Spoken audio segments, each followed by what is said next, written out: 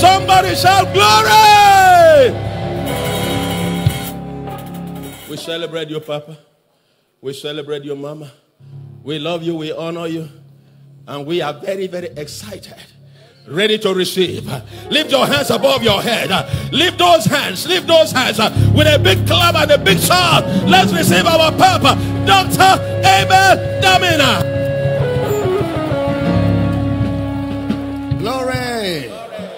Whoa. Father, we rejoice that we have answers guaranteed. And we thank you that in you we have all things that pertain to life and godliness. Thank you, Lord, that revelation knowledge is gifted us in this service. Burdens and yokes are destroyed. Whatever is not planted by God is rooted out. We decree that your people are built up, equipped, edified, and Jesus is glorified. Thank you for answered prayer. In Jesus' precious name. And every believer says a powerful amen. Lift your right hands to heaven. Let's release our faith together as we say these words I am born of God. I am born of the world. The word of God is my nature. I do not struggle to do the word. I do the word naturally. Therefore, today, I will understand the word of His grace. I will be built up. By the end of this service, I will never be the same. Never ever be the same again. In Jesus' name, and every believer says a powerful amen. Are we excited to fellowship in the word this morning? Can we celebrate our fellowship with a shout? Glory! Amen. Grab your pen, your notebook, your Bible. You can be seated with your sweet, smart self this morning as we get into the word of His grace. I want to welcome those of you connected to the service by way of Kingdom Life Network, Facebook, YouTube, Twitter, Instagram, all of the social media community. Brothers and sisters online, we're so glad to welcome all of you to the service this morning, guys. It's going to be an exciting study of God's Word. We wanted to help us share the video, put them on as many groups as possible, like the video, subscribe to our YouTube channel. Make sure you engage in the course of the service as it helps the algorithms of social media to give us the kind of visibility that we require to get this gospel around the world. Let me also use the opportunity to welcome all of the radio audience in Akwa Ibom State. We're so glad to have all of you connected to the service, guys. Get ready. We will study the word, call a friend, a family member, tell them life is flowing through the airwaves. We also want to welcome all our campuses, all the campuses around the world. Thank you, citizens all over the world. Together we're learning and growing, and we will make a great difference in our world. Can I have a powerful amen? All right, we're still examining how to love God on his own terms. How to love God on his own terms. Matthew chapter 28, verse number 18. Matthew 28, verse 18. And Jesus came and spake unto them, saying, All power is given unto me in heaven and in earth. Next verse. Go ye therefore and teach all nations baptizing them in the name of the Father and of the Son and of the Holy Ghost, teaching them to observe all things whatsoever I have commanded you. And lo, I am with you always, even unto the end of the world. Amen. So we began to establish that um, Matthew wants us to see something here. The word lo, I am. Lo, I am. When you say lo, is the word horawa in the Greek. It means look closely or look intently. Look closely or look intently. I am with you. Now, you know, I gave you the background that this study is not just Jesus speaking by inspiration. Jesus was teaching from the Old Testament. Because I have told you that every time you are reading the four Gospels, you are reading the Old Testament. Every time you're reading the old, the four gospels, Matthew, Mark, Luke, and John, you are reading the Old Testament. We have established that the background of the four gospels is Genesis to Malachi. And that the background of the prophets is the law or Exodus to Deuteronomy precisely. That is, the prophets were prophesying about the law and the Psalms. Now, the background of Exodus to Deuteronomy is the book of Genesis. Every time you read a book, you must know what that book is communicating or what it seeks to resolve in its day. Then we also, you know, took time to establish that the prophets of old were prophesying concerning a deliverance that was coming, an exodus. That was the prophecy. That was the content of the prophecy of the Old Testament prophets. A deliverance, an exodus, or a salvation plan that God started in Exodus. Now, why, why was there an exodus at all? Because there was a promise given to Abraham that God was going to take the children of Israel to the promised land. So the reason for the exodus was the fulfillment of that pro promise. So when reading the Bible, you have to read everything together. You can't select what to read. You must read all of it together. So Jesus says in Matthew 28, 20, he says, Lo, I am with you always, teaching them to observe all things whatsoever I have commanded you. And lo, I am with you always, even unto the end of the world. Amen. So Jesus here is teaching from the scriptures.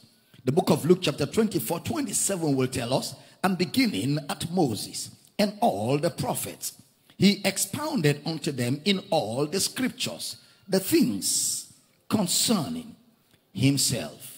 In verse 44, Jesus said to them, These are the words which I spake unto you while I was yet with you, that all things must be fulfilled, which were written in the law of Moses and in the prophets and in the Psalms concerning me. Then opened he their understanding that they might understand the scriptures.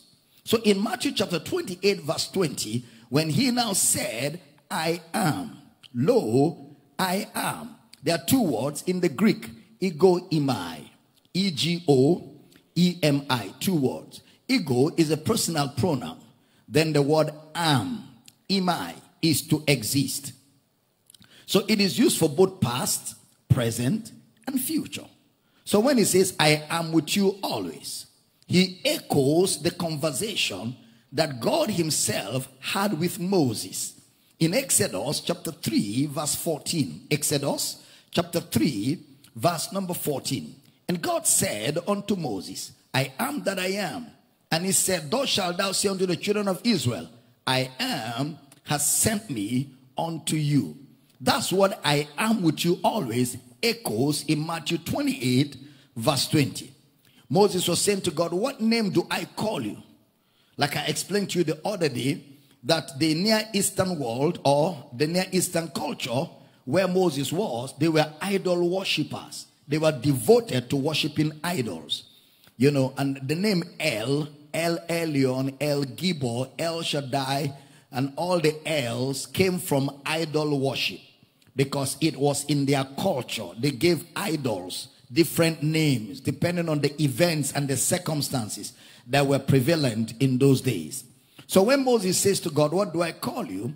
He is saying to God, Those guys don't understand what we are speaking because they are idol worshippers. They will not understand all of this grammar. I need to tell them an authority sent me. I need to tell them somebody sent me. So who do I tell them sent me? So God, in his kindness, answered and said to Moses, I am that I am. In other words, he is saying to Moses, I was in Genesis the one who gave the promise to Abraham. I am here to fulfill it. And I will yet fulfill that promise in the future. So it's not just a blank statement, I am that I am. I am the God of Abraham, Isaac, and Jacob. I was. That was when I gave the promise. I am here now in Exodus to fulfill it. And I am taking you to the land. I am is the word ava in the Hebrew. I gave the promise. I am doing it now and I will do it then. So he says, I am. I'm not one of them gods. I am the one who gave the promise. I am the one who spoke to Abraham. So therefore it means that that word I am is resting on an Exodus story. The word I am is resting on an Exodus story. If you don't understand the promise given to Abraham, the word I am cannot be clear to you. You must first of all understand that God gave a promise to Abraham. It is on that promise that God introduces himself as the I am that I am. Look at Exodus chapter 6, verse number 2. Exodus 6, verse 2. And God spake unto Moses and said unto him, I am the Lord. Next verse. And I appeared unto Abraham, unto Isaac, and unto Jacob by the name of God Almighty.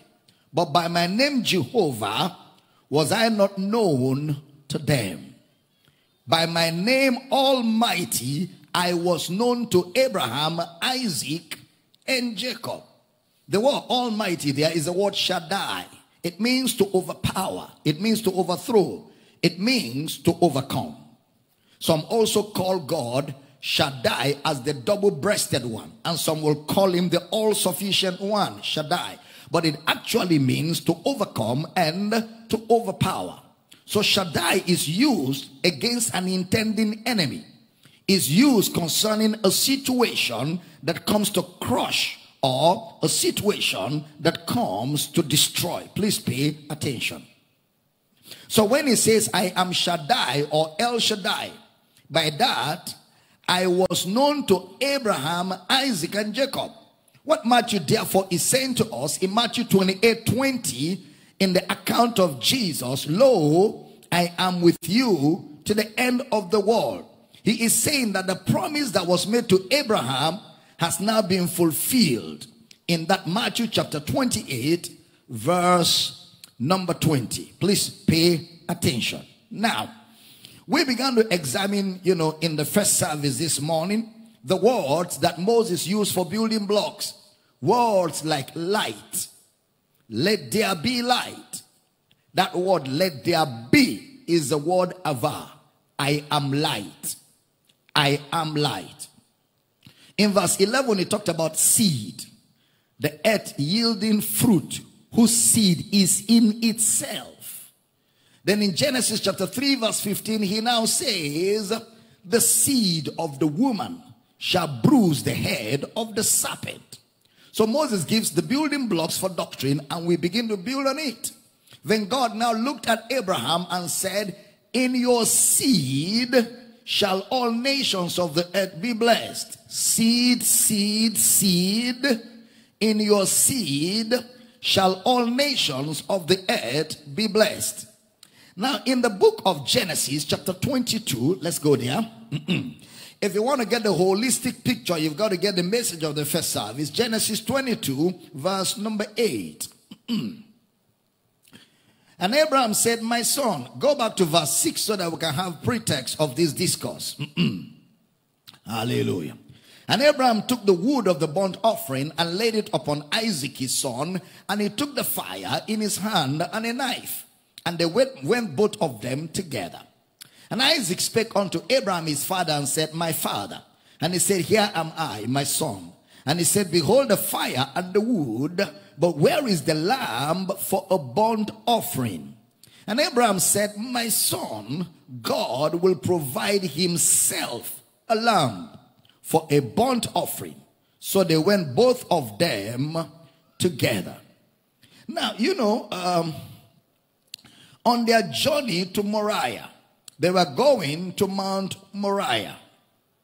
Remember, God called Abraham and told Abraham, Get thee out of your father's house, out of your kindred, to a land I will show you. And I will make your name great, and I will make you a blessing. Now, this same Abraham in John chapter 8, verse 56, let's see what Jesus said about this Abraham. John 8, 56. Your father Abraham rejoiced to see my day, and he saw it and was glad. Next verse. Then said the Jews unto him, Thou art not yet 50 years old, and hast thou seen Abraham 58? Jesus said unto them, Verily, verily, I say unto you, before Abraham was, I am. The word before is the word pro. Pro. Before Abraham, ego eimi. So he now takes us to that Genesis 22 where we read. So God becomes what he wants. I am what I am. I will be what I will be. God becomes the supply. So, whatever humanity's problem is, whatever we cannot do, God becomes a supply for it. When we say God is more than enough, many times you think of cars, you think of houses, you think of money, you think of jobs. You know, people can do that. People can give you car, people can give you money, people can give you jobs. Even those who don't care about God, they have cars, they have money, they have houses. Some of them are so rich right now, they don't even know what to do with the money, but they don't care about God. They don't care about God. So when we are saying God will supply, that is not why God is called Shaddai. He is not called Shaddai because he will supply you cars and houses and money and all of that, which is what the materialistic gospel has communicated over the years and has done a lot of injustice to the church of God. When we say God will supply, we mean he will supply what only him can supply. What God supplies is what no man is able to supply. Shaddai. It is what no man can supply. Only God can save you from sin and from the devil. El Shaddai. It was, if it was material, remember before God said to Abraham, I am El Shaddai, Abraham was already rich. Abraham had so much wealth. I mean, when God told Abraham to get out of his father's house to a land they will show him, Abraham moved out with 318 servants trained in his house. A man that has over 300 skilled servants, minus the untrained ones. And you know that wherever you have trained people, the untrained ones are more in number. Imagine Abraham had over 1,000 to 2,000 people living with him. That's not a poor man. On their way, his servants and Lot's servants began to have problems. They began to quarrel, and Abraham had to settle the quarrel. It shows you that Abraham was already rich. So when God was saying to Abraham, I am Shaddai, it was not a word connected to material stuff. The Shaddai in that context was beyond material stuff. How do you call a man from his father's house who is so wealthy and has a convoy and you think that man is poor? So when he talks about I will supply, he is talking about the seed that will bruise the head of the serpent. So when they got to Mount Moriah, take your son, your only son. God is talking about Abraham and the future. Your only son whom you love. Whom you love. So on the way to Mount Moriah, Isaac said to the father, I see the wood and the fire, but where is the animal? The boy is smart enough because the Bible tells us it took them three days to get to Mount Moriah. So Abraham now answers Isaac in verse 8 of Genesis 22 where we read, put it up again, Genesis 8 22. Genesis 8 22. And Abraham said, My son, God will provide himself. God will provide himself a lamb for a burnt offering. So they went both of them together. Are you here? Please pay attention. Now, I want us to explore that word provide. I am sure that the Hebrew were limited in expression because the word provide here is the word ra, R A A H. It means to foresee. To provide means to foresee. To foresee. God foresees himself a lamb. The word provide to foresee. Ra. God will foresee or God foresees himself the lamb. I foresee Abraham now, though God is that lamb. Why do they go through sacrifice? Again, listen carefully, pay attention. In their culture, sacrifices were used to honor deities in their culture. And God is not demanding a sacrifice because God is the Almighty. He is the all sufficient one. He doesn't need anything from anybody. Whatever he needs, he becomes that thing. He's the all sufficient one, Shaddai. So why were they offering sacrifices? It was culture. So Abraham tells his son, God is seen as the lamb. If you go to Genesis chapter 1 verse 4, take note, chapter 1 verse 4, Genesis chapter 1 verse 9, Genesis chapter 1 verse 10, verse 12, verse 18, verse 21, and verse 31. It tells us that God saw, and God saw, and God saw, and God saw. The word saw, it means to foresee. To foresee. It means the light will shine out of darkness. It means the fruit, I mean the seed will bring forth after its kind. God sees that. This is the solution. That is, God foresees for us that the solution to man's predicament will be a lamb. So, in other words, what Abraham is telling his son is that the sacrifice is going to be God Himself. God Himself will be the sacrifice. God Himself will be the sacrifice. He will bruise the head of the serpent. Then later on, Brother Paul wants to talk about God seeing in Galatians chapter 3 verse 8. Put it up for me. Galatians chapter 3 verse number 8. And the scripture foreseeing, foreseeing that God will justify the hidden through faith, preached before the gospel unto Abraham saying, Indeed shall all nations be blessed. Glory to God. Indeed shall all nations be blessed. So what we find on that mountain is a provision or we can call it providence. That's what we find on Mount Moriah. To see ahead of time what God will do.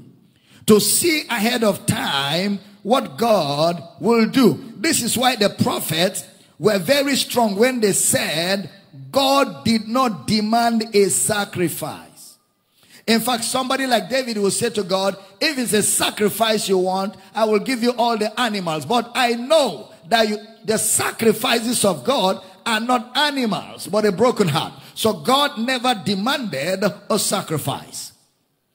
Why are we offering sacrifices then?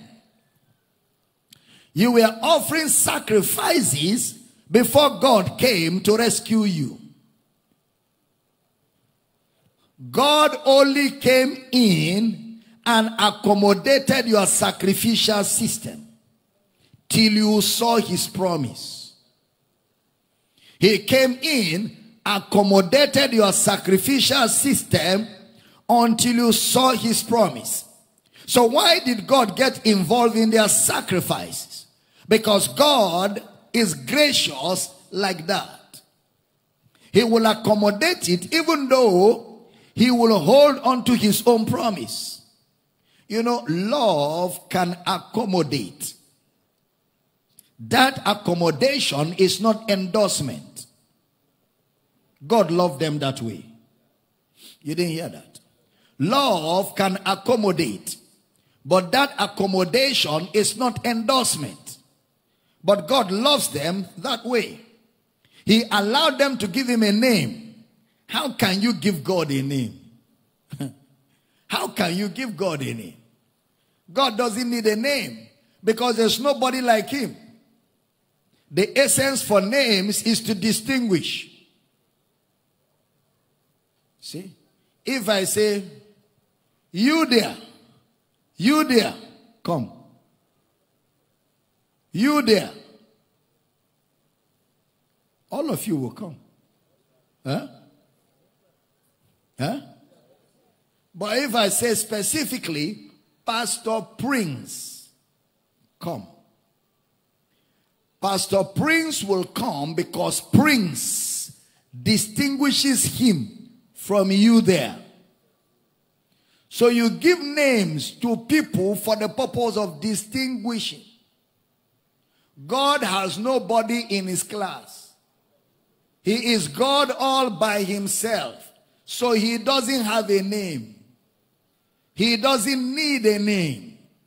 Because you're not distinguishing him from anybody. But in his graciousness, he gives them a name. But remember, the name he gives to them rests on a story. The story of an exodus from Egypt to Canaan. I am that I am, which means I will be what I will be for the purpose of salvation. If it's getting clear, can I have a good amen? So he allows them to give him a name. They have gods in Egypt, and those gods have names. So, what do I say your name is? At some point, they said in Numbers, We cannot enter the land you are promising us. Let us send witnesses to confirm if what you said is true. And God said, Okay. He accommodated them. Send witnesses to confirm. If he is God and he says this is what will happen, he doesn't need to confirm. But in order for him to accommodate them, he allows them to send spies. He didn't start the sacrificial system, but he got involved because he loves them. Then they said, give us a king. God said, I am your king. They said, not your type. You are too spiritual. We want a regular king like other nations. We want a human king. We don't want your own. Samuel cried, and God said to Samuel, It is not you they have rejected, it is me they have rejected. Then God said, In spite of the fact that they have rejected me, please allow me to choose your king for you. So he appears to them. He said, I am the Lord. I will bring you unto myself to that land they said, Moses, this spiritual king, we don't want. We want a physical temple. Because when they were in idolatry, they were building temples. When they were in idolatry, they gave names to idols. When they were in idolatry, they were giving sacrifices. So everything they were doing in idolatry, God accommodated and allowed them to bring it into his relationship with them until they can see his promise. If it's clear, can I have a powerful amen? Now, God said, okay, since they want a temple, build a temple for them. But make sure it's according to the pattern that I showed unto you. So Moses building said, what can I use to represent the blood? So he told them, start bringing animals. Bring animals. Because in idol worship, they were used to bringing animals. Then God said, but I will dwell among you and walk among you. Again, God is gracious.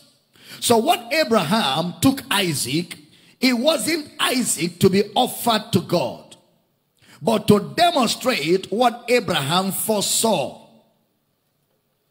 That he will be the seed that he will be the son and he will be the sacrifice. That God will be the seed, he will be the son, and he will be the sacrifice. So Isaac had a teaching service. Isaac had a teaching service. He is more than enough. El Shaddai.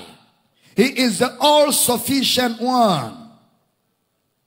He is all we need and he is all we will ever need. He doesn't give things. He gives himself. Whatever he wants to do is within him. So when God wants to do something, it comes out of him to you. If he wants to bless you, he becomes the blessing. If he wants to save you, he becomes the savior. If he wants to deliver you, he becomes the deliverer. If he wants to sanctify you, he becomes a sanctifier. Am I teaching good this morning? He becomes whatever you need and whatever we will ever need. So in Deuteronomy chapter 6 verse 4, Deuteronomy chapter 6 verse 4, put it up for me. Glory to God. Deuteronomy chapter 6 verse 4. Hear, O Israel, the Lord our God is one Lord. Elohim, Eloha. Then you have the word Ava. In other words, the one that will be what he will be is one. The one that will be what he will be is one. Yahweh our God is the same. So brother Paul will now explore that word in First Corinthians chapter 8 verse 6. Put it up for me. First Corinthians 8 6. But to us there is but one God, the Father of whom are all things, and uh, whom are all things, and we are in him, and one Lord Jesus Christ, by whom are all things, and we by him. Now, let not the concept of the Trinity confuse or amaze you. The Trinity explains to you the graciousness of God. He is all that we need as a father, as a son. He is called the firstborn from the dead. And he is the spirit. God becomes sufficient for us. He is the lamb. He is the light. He is the life. He is the union.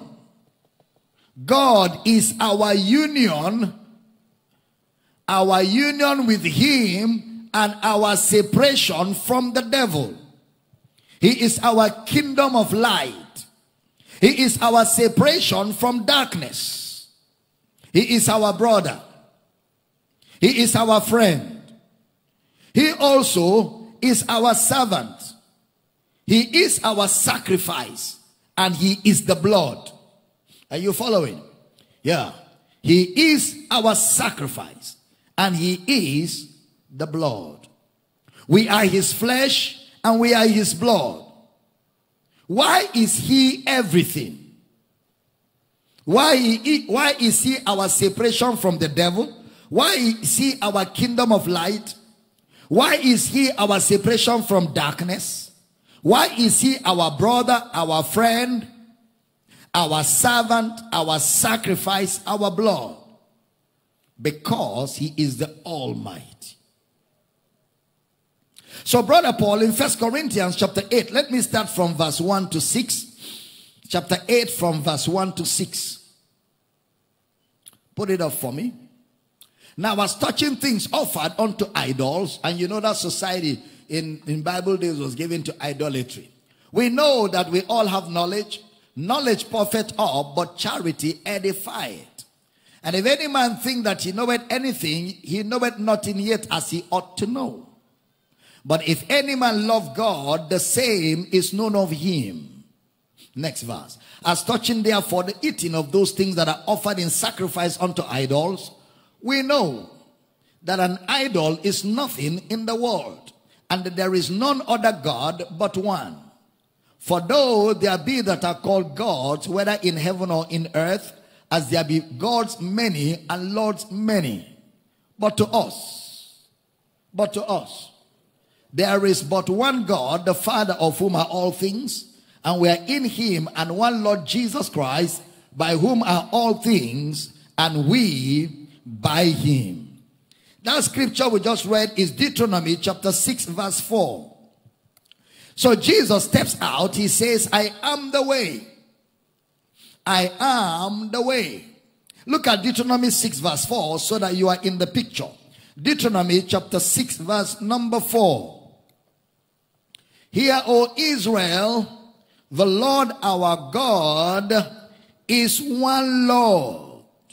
He is one Lord.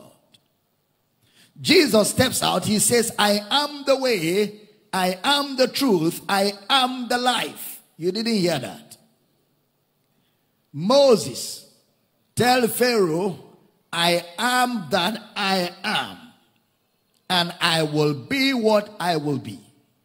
Jesus now steps out and says, I am the way. I am the truth.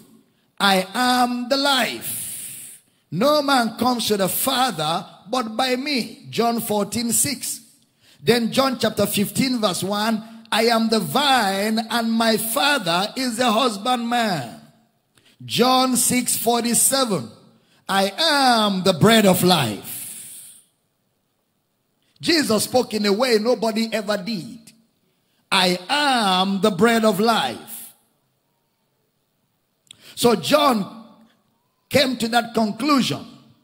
He calls him the only begotten, the monogenes. Monogenes. In the Greek, when he is talking of the believer, he uses genua, genua, to be born of. But when it comes to Christ, in John 1 14 and John 1 18, he uses monogenes, unique, the unique one to discern from uniquely, showing you God came out in the Son. So he becomes the mono, the mono, Janua, to show you that anyone that comes before him, whether it's Isaac or Abel, Abel never rose from the dead. He is killed. He is the birthright son. And Abel takes the servant position. Now, those of you that were not in the first service will not understand why I'm talking about Abel now. So go get the material for the first service. You need to be in all services. You have to. If not, you'll be hearing 150. That's right. Because where do I even start Abel from? You need to get the material from that first service. Glory to God. So get it. Amen.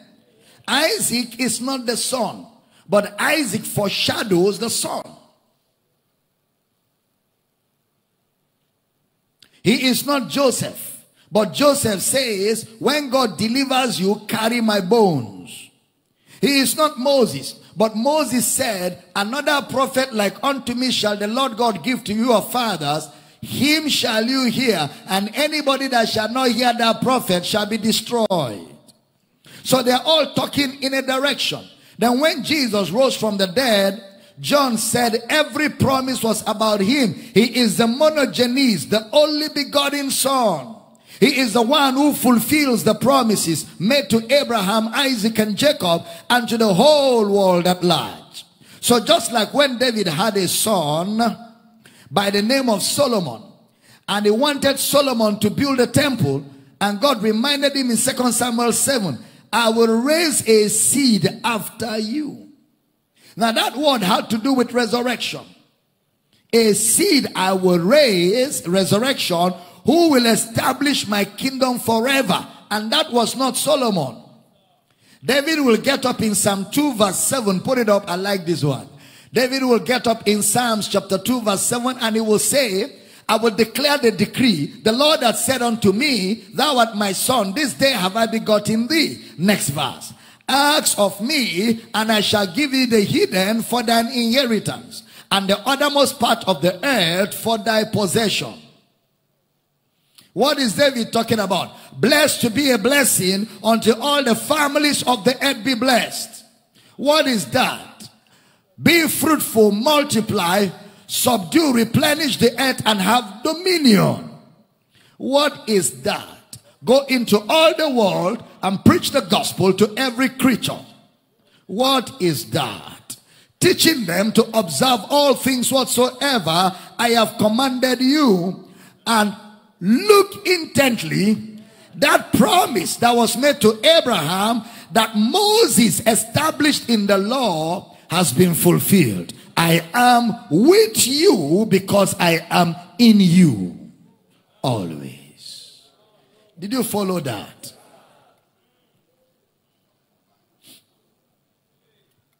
Glory to God. Now,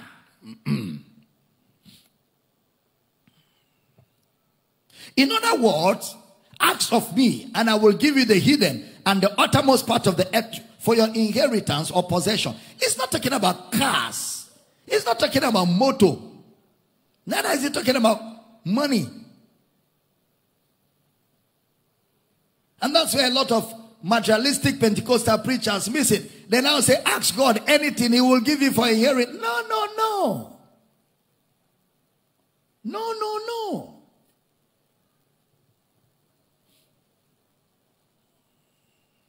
No.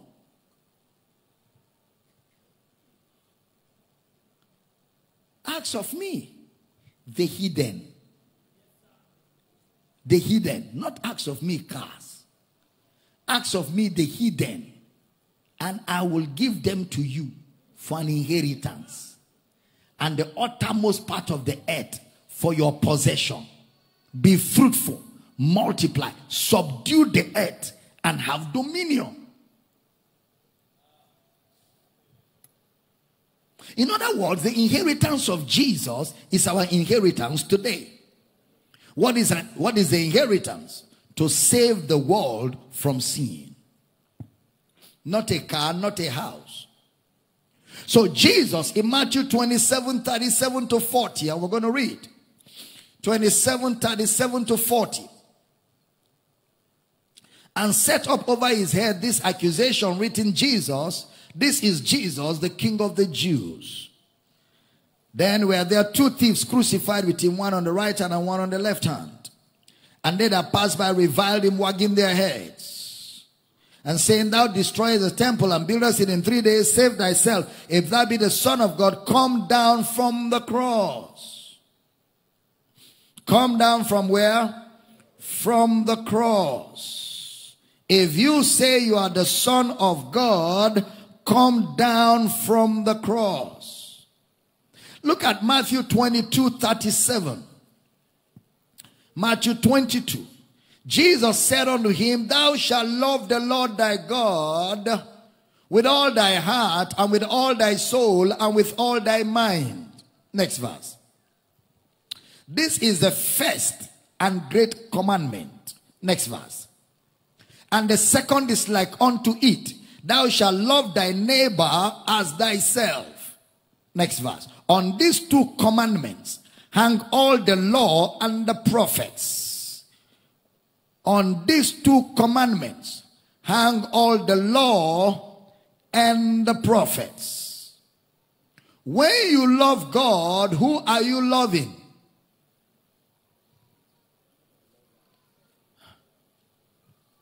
What does it mean to love God? Huh? No. I taught this last Sunday. To believe the gospel. Faith in who? So, to love God is to love who? To love Jesus. If you don't love Jesus, you don't love God. Somebody says, I love God, but I don't believe in Jesus. How? Who is God? That means you don't know who God is. Because if you know to love God and you don't believe in Jesus, you're confused. Hear, O Israel, the Yahweh our Elohim is the same. He will be all he promised he will be. He will be the seed. He will be the son. He will be the light. He will be the servant. He will be the sacrifice. Hmm.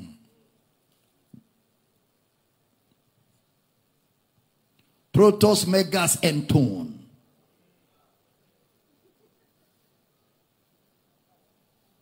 The first and great commandment. Then he said, The second is like unto the first one. On these two commandments lies Genesis to Malachi. You didn't hear that. On these two commandments lies Genesis to Malachi. Now, if you follow that conversation, he now said, Let me ask my own question. What do you think of Christ? Whose son is he? Some said David. He said, If he is his son, why does David in spirit call him Lord in Psalm 110, verse 1? Because David cannot call his physical son his Yahweh or his Adonai. That means the promise to give the seed of David the kingdom is not to Solomon. It's not to Solomon.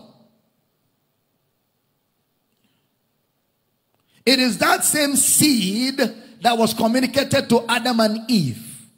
Is that same seed that was communicated to Abraham, Isaac, and Jacob. The same seed was communicated to Israel. And none of the world could meet up until Jesus came. So Jesus becomes the son who inherits all the promises and all the prophecies. If you're on the same page, shout glory. Love the Lord your God, therefore, means to believe. To believe the Lord over all your idols. To believe Him over stories.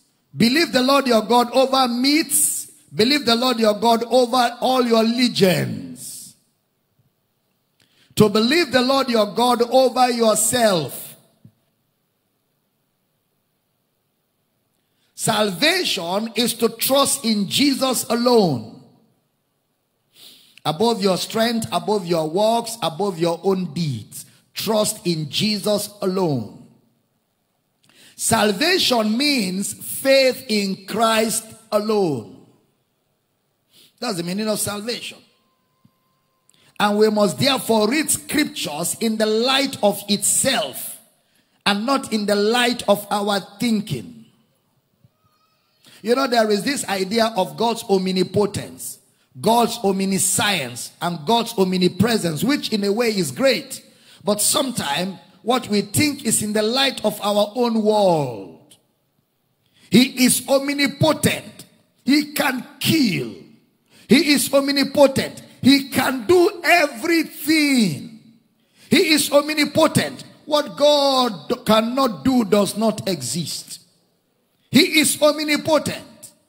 We, we are thinking in our own world. But that's not what the scriptures teach.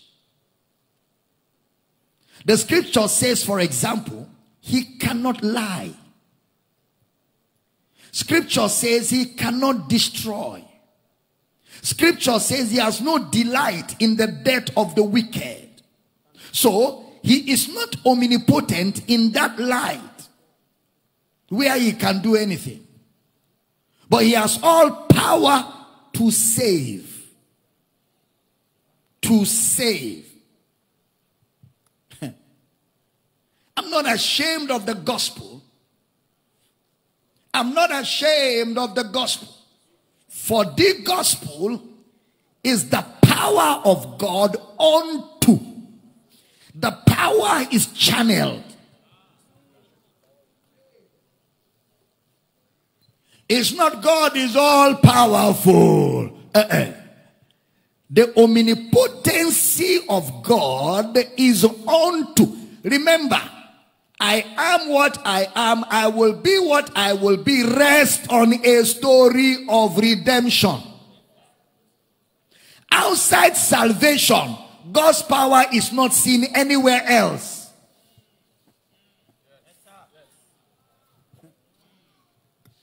His power is to save. Okay, look at me, everybody. Romans 1:16. Let's read like a mass choir. Because I really need to to to to to to put those those things to, to a conclusive end. Romans 1:16. Can we all read together? Everybody want to go? Of the gospel of Christ for power of God Power of God. What is unto? Huh? Huh? Towards or a channel or this is the path where this power can be seen. Once it is not salvation, once your prayer is kill my neighbor, his power is lacking. God doesn't have power to kill. God's power is to save. So all these people that go around with what God cannot do does not exist. In their mind, they believe that God can kill your husband and give you give them your wife. And they believe that God can kill your wife and hand over the husband to that girl. So they are waiting. And they write prayer requests upon prayer requests upon prayer requests. Prayer requests written on a paper is not prayer.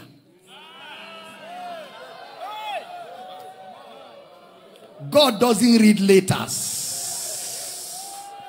God doesn't read letters. God doesn't read letters. If God were, were to be reading letters, there would be no need to pray.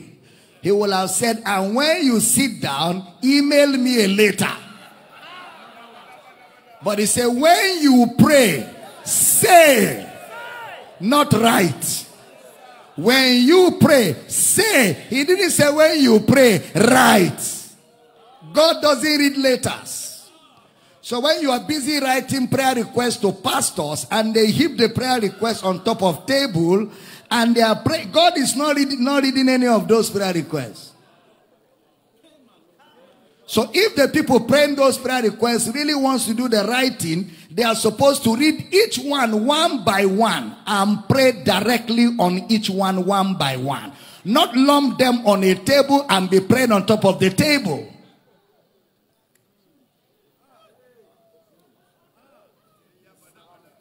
He said, praying always with all prayer and supplication for all saints. So even when we pray for saints, we pray saying. Not reading. There are a lot of unapostolic practices going down or going on in Christianity that are not scriptural. I'm teaching good. When you pray, say. The disciples of John came to Jesus himself and said, Teach us to pray. Jesus said, When you stand praying, say. So if you are not saying, you're not praying. He didn't say when you stand praying, write. He said, say. If anybody could have written, it's Jesus that should have been writing. Or they should have been writing letters to Jesus. But there was no such practice. Is there anything wrong with writing letters? Nothing is wrong with writing pray- letters, but that is not a prayer.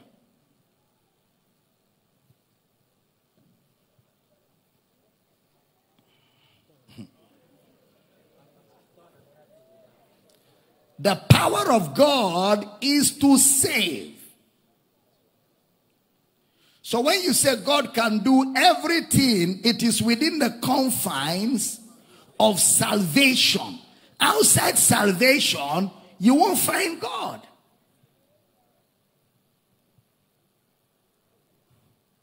There is no darkness in him. He is absolute light. He is total light. There's no darkness in him at all. I'm teaching good. So when we say God is omnipotent, it is in the light, within the confines of salvation. He has all power to save. He has all power to deliver. He has all power to love. He has all power to sacrifice and he has all power to redeem. And that power is found in Jesus Christ. That power is found in Jesus Christ. When I say I love God, the proof of that love is when I love those whom God loves. When I love those whom God loves. When I love those whom God loves. Once again, remember, in the book of Genesis, Exodus, Moses is writing to the nation of Israel. So the background of Exodus is Genesis. And the background of Genesis is Exodus. He uses what they can identify with. The Lord Himself will provide the lamb. Like I said a few minutes ago, in their world, God never instituted animal sacrifice. God never asked for it. God provides whatever He wants. That is everything that you need. God says, I will become. So Abraham knew perfectly that God will go to any length to save, including him becoming like us. Any length. So Moses reading that said to God, let me see your face. And God says, I am that I am. I will be what I will be. So the message of the gospel, therefore, is rooted in God who became a man. The message of the gospel. He is not saving from afar. He is not even saving us from near. He is saving with and in and through us. That is his work. So when Moses says, Hear, O Israel, the Lord your God is one. Deuteronomy 6, verse 4 and 5. Please put it up for me. Deuteronomy chapter 6, verse 4 and 5. Hear, O Israel, the Lord our God is one Lord. Thou shalt love the Lord thy God with all thine heart and with all thy soul and with all thy might. The promise has to be exactly what Jesus was. So in the four gospels, we read the story of God in the four gospels. The word love is the Hebrew word aheb. A-H-E-B. It means to esteem. To esteem. To esteem. Always use words in context. When we talk about loving God, we are not talking about romantic love. Loving God here has to do with the context of idols. Loving God in the context of idols. For a nation that was open in idol worship and totally engrossed in idol worship. When you say, esteem me with all your heart, mind, and soul, you are telling them, believe me. Believe me. That is, love the Lord your God who delivered you from Egypt. Love him with all your heart, your mind, and your soul. It also means believe him. I believe that God became a man. I believe God above all idols. An idol is a God you have created within the figment of your mind and imagination. It's an idol that exists only inside your mind. That's a God. When Jesus says yes, no one can say no. When Jesus says yes, no one can say no. When Jesus says yes. That song, that song is an idol in your mind. That song paints the picture of a God that only exists inside your mind. That God can force his way through anything once he says yes, you are not you are not born to say no. He will force you. He will bend you. He will break through anything to make sure what he says happens. And you say you believe that Jesus was crucified.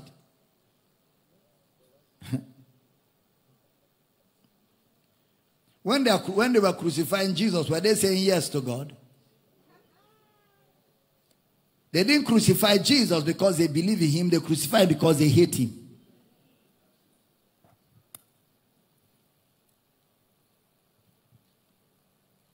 So when we say God says something and God also did it. you have to be careful. Go and tell the president, God will deal with him.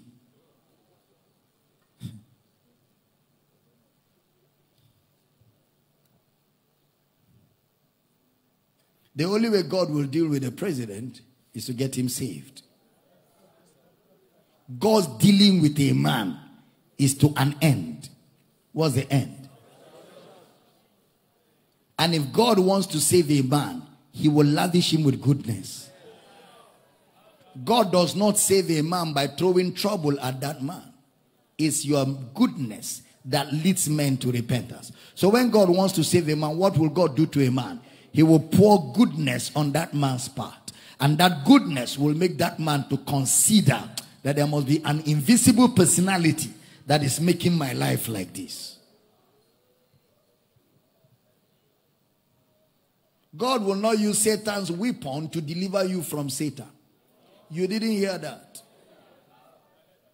Satan, God will not use Satan's instruments to deliver from Satan.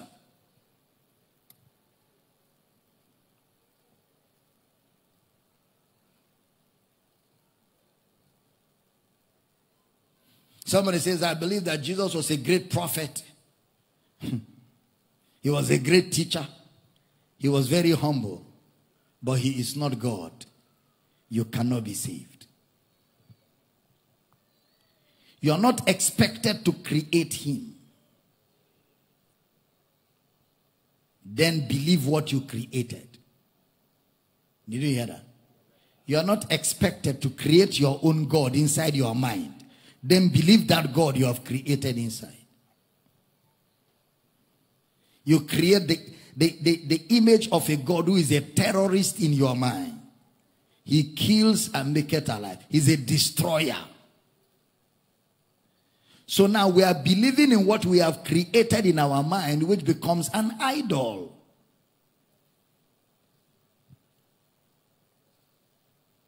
Jesus is the Christ. Hallelujah. I said hallelujah. Look at Deuteronomy 30 verse 5 as a round off. Are you blessed this morning? And the Lord thy God will bring thee into the land which thy fathers possess, and thou shalt possess it. And he will do thee good and multiply thee above thy fathers. Verse 6. And the Lord thy God will circumcise thine heart and the heart of thy seed to love the Lord thy God with all thine heart and with all thy soul, that thou mayest live. Then verse 11 of Deuteronomy 30.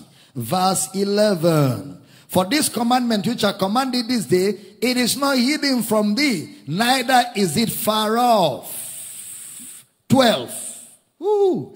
It is not in heaven that thou shouldest say, Who shall go up for us to heaven and bring it unto us that we may hear it and do it. Next verse. Neither is it beyond the sea that thou shouldest say, Who shall go over the sea for us and bring it unto us, that we may hear it and do it.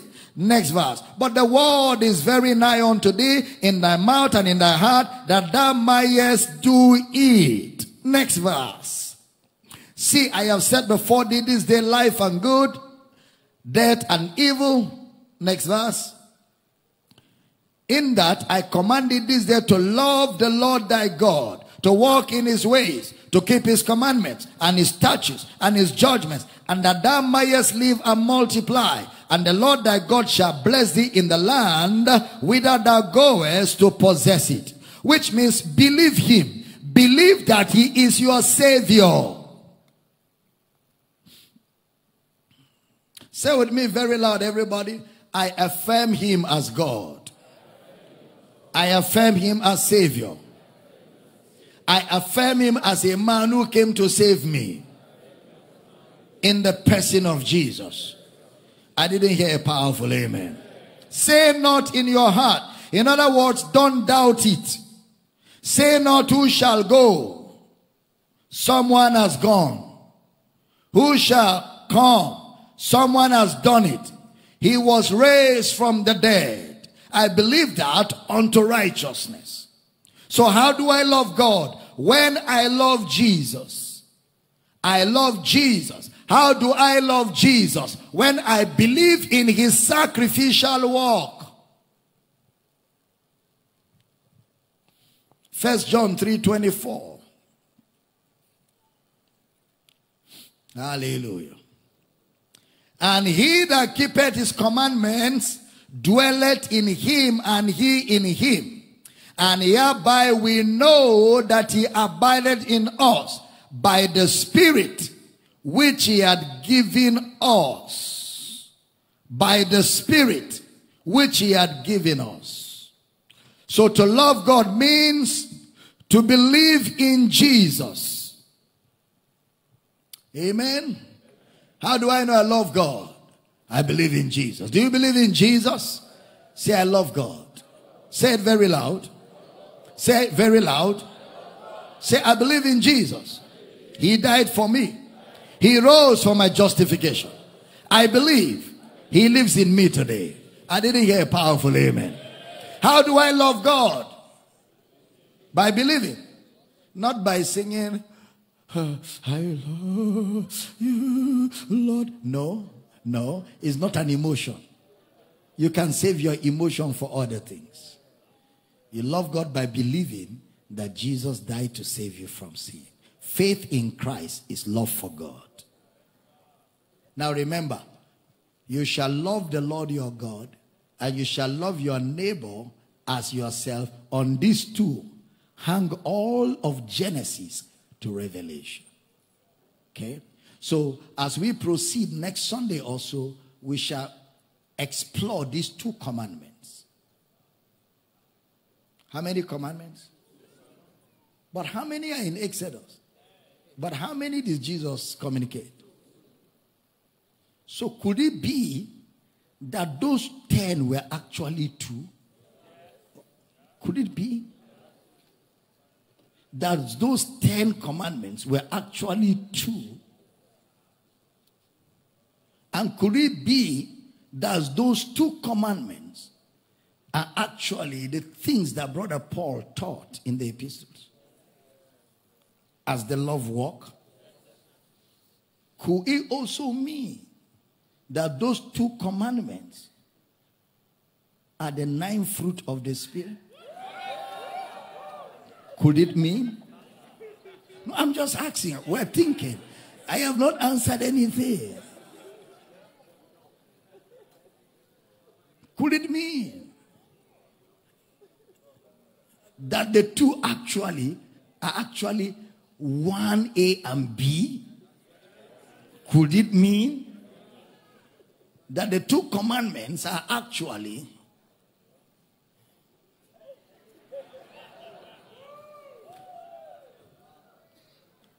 Glory to God. Don't you love brother Moses? Some of you didn't like Moses before. But I can see you are getting born again. You are beginning to like Moses now. Without Moses, there's no Bible. amen. I said, Amen. Without Moses, there's no Bible. Let me close. Can I close this? Stand with me. John chapter 5. I close with this. While you're standing, we read it together. John chapter 5, verse 45. I hope I'm right. Amen. I hope I'm right. you know that I'm right. Let's read together, everybody, like a mass choir. One to go. Do not think that I will accuse you to the Father. There is one that accuseth you, even Moses, in whom you trust. Okay, hold on. Selah that. Next verse. Oh, yeah, yeah, yeah. Let's go. One two, go. For had you believed Moses, you would have believed me, for he wrote of me. So it appears to me like Moses wrote two things. Eh? It appears to me like Moses wrote two things. Which one is the number one? Eh? Accusation. Which one is number two? He wrote of Christ. So it appears to me that when you read Moses' books, you will see two things. Number one, number two, Christ. I didn't say, I just say it appears. Are we not thinking? Glory to God. Had you believed Moses, you would have believed me, for he wrote of me. Glory to God. All of these are more. We'll find out next Sunday. Glory to God. Glory to God. Glory to God. Father, we thank you for light that shines in our hearts and minds, revelation, knowledge growing big, light shining in our understanding. Your people are being built up, molded, equipped, empowered to declare the gospel and to declare their faith in a winsome manner. And I pray that this revelation keeps growing big in our hearts until nothing else matters. We give you praise for answered prayer in Jesus' precious name. And every believer says that amen on a note of finality. Can we celebrate this word for a few minutes? This glory, glory, glory, glory. Somebody shout yes. Well, first of all, because I'm out of time and I want us to do ask the counselor for a few minutes before we close this morning, I want to use the opportunity to thank all of you, both online, on television, all the campuses, and every one of you in the building for taking out the time last Monday to celebrate and honor me. And this morning, by the way, the district pastors and many of the different people in church represented all of you and gave me gifts that all of you sent to me.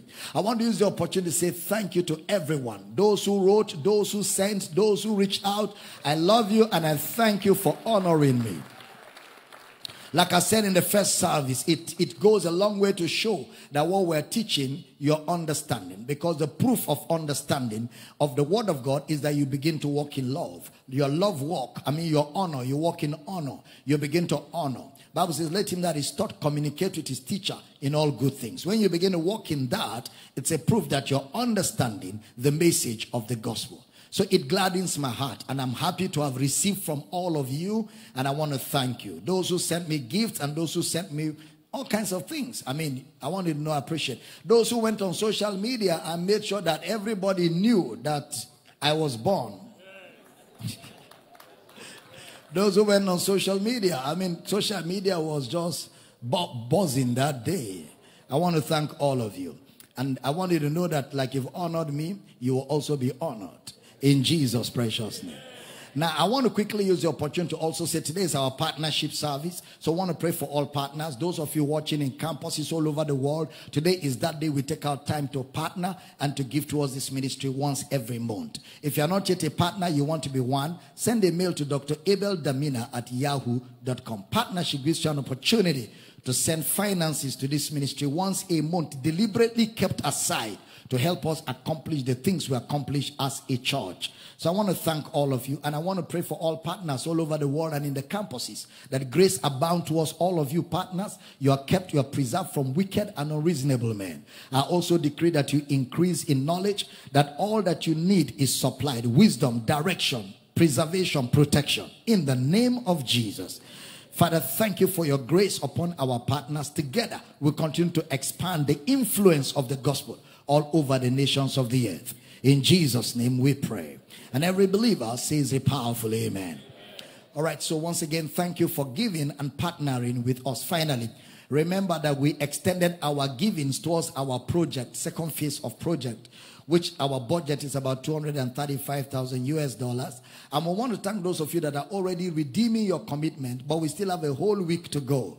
Those of you that have not heard about it, if you're just hearing for the first time and you really want to give, you want to give $100, $50, $1,000, $2,000, $5,000, or even more, all you need to do is send a mail to Dr. Abel Damina at yahoo.com.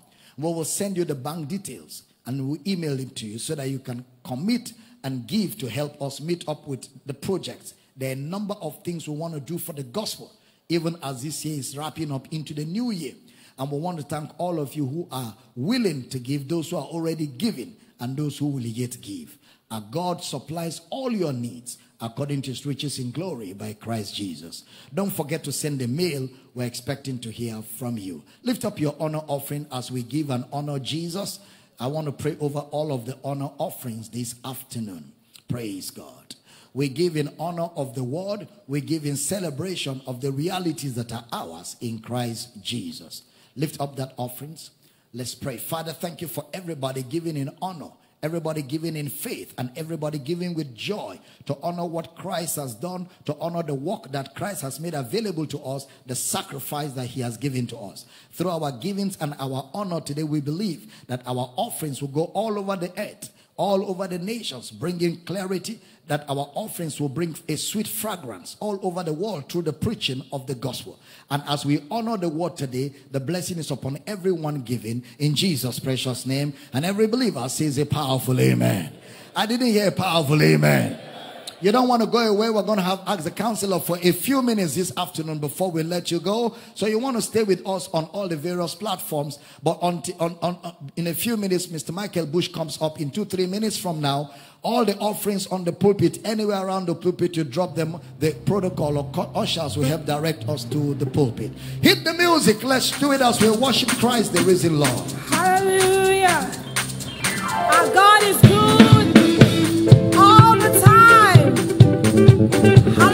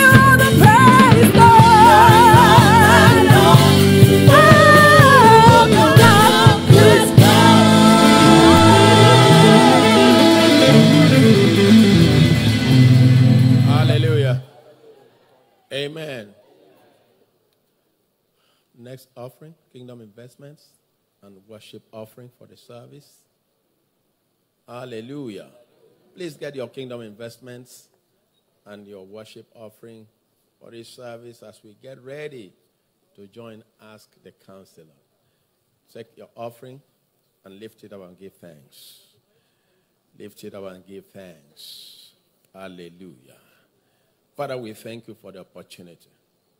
The Bible says we should not be weary in well doing. And we have made up our minds. We will not be weary in well doing. And so we continue to advance the cause of the gospel through our giving and through our various services. Thank you for accepting our offerings this afternoon, and we thank you for the blessing in Jesus' name. Let the believers say amen. All right, when you come out, the kingdom investment in the basket and the other offering right here. Hallelujah. Hallelujah. For the Lord is good and his mercy endures forever. Hallelujah.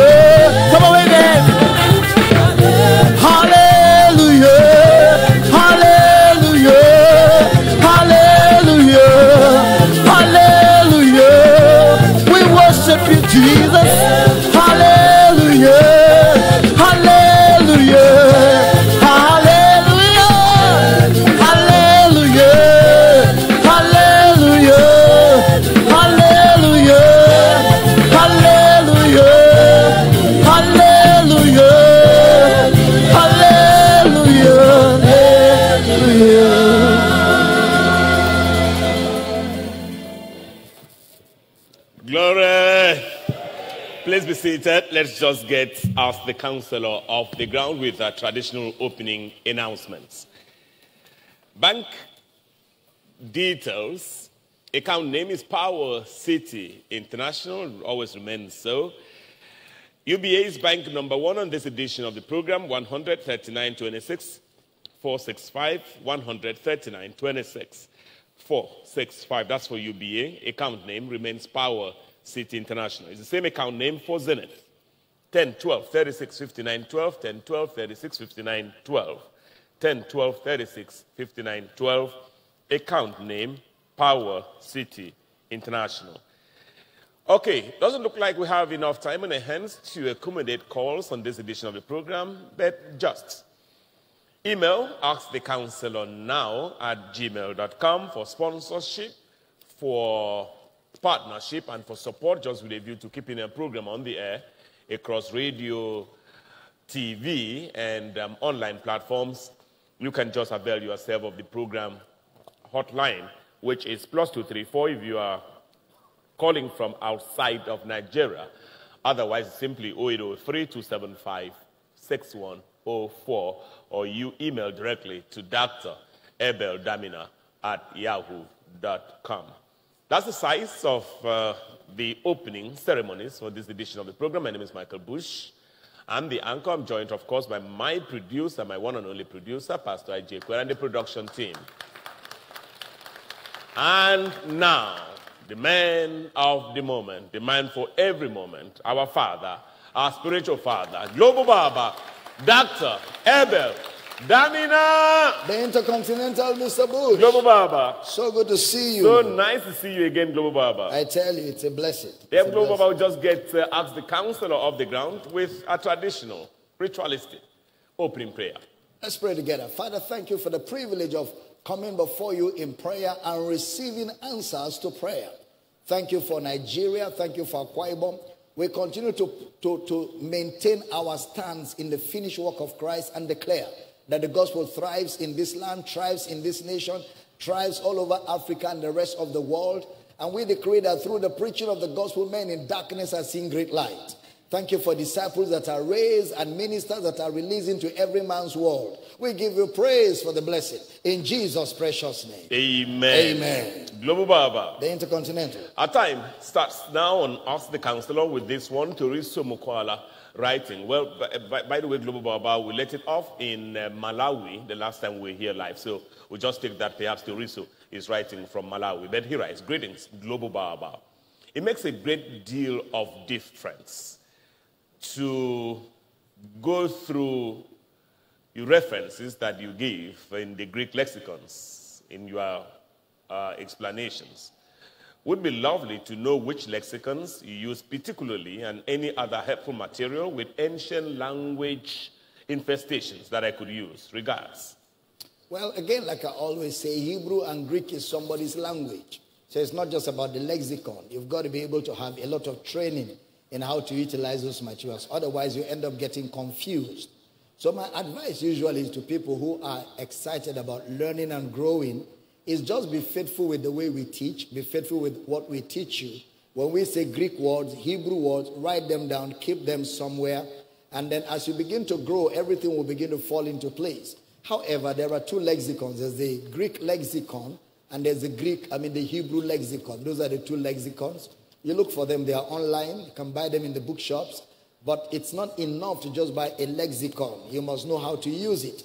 People go to university to read Greek and Hebrew, Greek for four years, Hebrew for four years, and their degrees for all of those. So again, there's a lot of learning and tutoring that is required. But to make it easy for you, just keep following, keep following, keep following. At the fullness of time, it will be easy for you to lay hand on a Greek lexicon and locate these words as we apply them in teaching. Let's move from Malawi next to Uganda, still on the east coast of the continent. Hello, Global Baba. Thank you for your word in labor, for your labor in word and doctrine. I'm Morris. I watch live from Uganda. Global Baba, I have a question on the coming of Jesus, which, which you said in one of your videos is going to be an appearance or a coming together.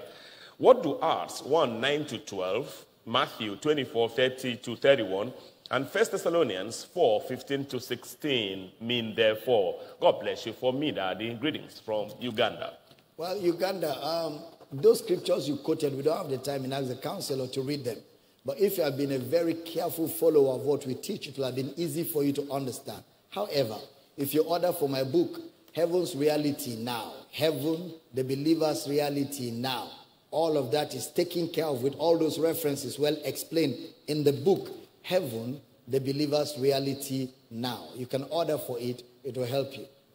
Okay, from the east coast of Africa to the southern coast and uh, southern Africa, this one says is writing from South Africa. Oh, southern Africa doesn't mean South Africa. I'm sure you understand that. Hello, Global Baba. My name is George. I write from the southern part of Africa. That I should indicate that my questions may sound contradictory, but I just want you to know, and that I also want to hear from you. So you've liberated so many souls from ignorance and slavery, including me, by preaching the truth.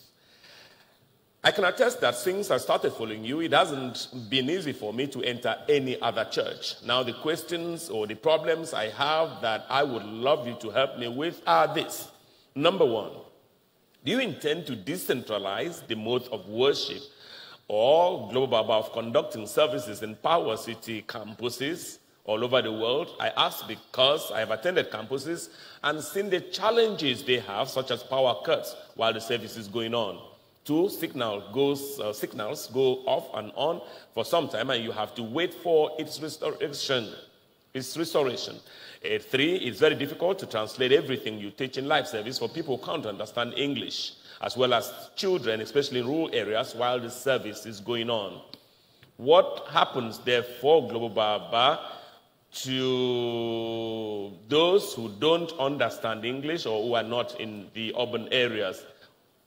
Especially people, for instance, in the villages where electricity is a no-no and where it is uh, technology is almost impossible.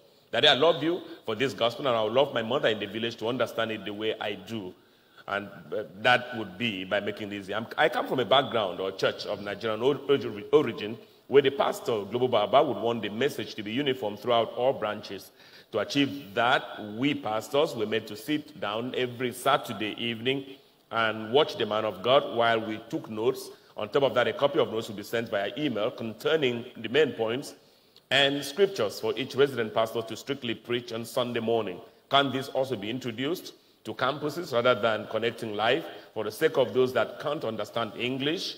Because the coordinator will translate in the local language and communicate it effectively to members. He goes on Global Baba, but I'm just looking at the time. Well, let's try. Most of the campuses Global Baba visited, wherever I go around, it's only the coordinator, the wife, and a few brethren who know and follow you only. I understand in Power City it's not about crowds of people, but when are people going to get this message, which is quite important because most of them find it difficult to sit and watch you on TV live, especially those coming from a background of church services down um, Global Baba. We have a good message, but I feel we have an approach that is slowing it down to quickly be adapted. Most people really want to serve under you, but have opted to open churches and only follow you as their children. If only people can have a physical service than on TV, Power City International would be the leading crowd puller of genuine born again Christians all over the world instead of small families gathering in the name of like minded brothers. I really need to hear from you, Daddy, your concerned son. Well, I think you, you are actually asking us to change Power City to something else. Because that's the vision. And if that vision doesn't go down well with you, you can start your own church and follow me as a son. It's as easy as that. But if you must be in Power City, it's a campus. I'm sure you know when you went there, you're going to a campus, meaning you're going to go and learn, you're going to go and study. We're not in a hurry to be a crowd pulling church. In fact, that's not part of our vision to be a crowd pulling church. We just want to train people who are hungry to learn Christ and they're willing to learn Christ according to the terms of our vision as a ministry. I hope that helps you. Moreover, you're talking about most campuses. I'm not sure you have attended up to five campuses. So maybe the one that is within your locality is just starting and you are supposed to go there and help to build it. But here are you standing aside and looking for a normal church. Power City is not a normal church. Power City is a school. And when you go to school, you don't tell the school how to train you. You submit yourself to be trained by the school the way the school have laid down the rules of training. And if that doesn't work for you, brother, you can start a fast growing church in your city and you can learn, you can take what we teach and teach it there. But if it's Power City, it's a campus and I teach all over the world. The brethren and the coordinators know what to do. No, Baba. They're in the continent. Okay, let's just stay on in South Africa. Perhaps when we return, next edition, we'll be able to continue there from. I'd also thank you for your time. Thank you for be, having been part of this edition of the program. My producer tells me we have under two minutes to say ababa. My name is Michael Bush. My producer is Pastor IJ Quere, complete with the production team. Help us welcome our spiritual father, Global Baba, Dr. Abel Damina. The Intercontinental Mr. Bush. But we want to pray for those who have needs, who have reached out. Father, we pray for those who are sick. We ask that they be healed right now. Amen. Those going through challenges, we ask for a divine intervention. Receive a miracle in the name of Jesus. Amen. Thank you, Lord, for answered prayer. In Jesus' name we pray. Amen. Once again, we want to thank you for giving us the opportunity to serve you the grace of God. Always an honor to bring clarity and to bring understanding and to help you come to a place where you are equipped to fulfill the mandate of Jesus Christ. God bless you and looking forward to having all of you. Remember, every day, 12 noon GMT plus one. We are live on all platforms and in the evening, 6 p.m. GMT plus one. You don't want to miss the teaching of God's word through the course of this week. Enjoy the grace of Christ and be blessed. Goodbye from Uyo, Nigeria. Amen.